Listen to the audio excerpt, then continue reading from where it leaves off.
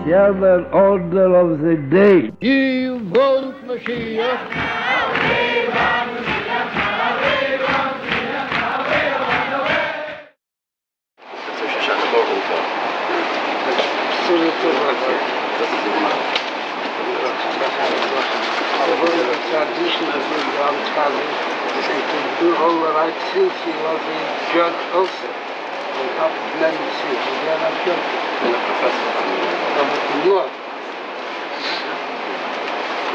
I have heard that here many law explained on that and changed, etc., etc.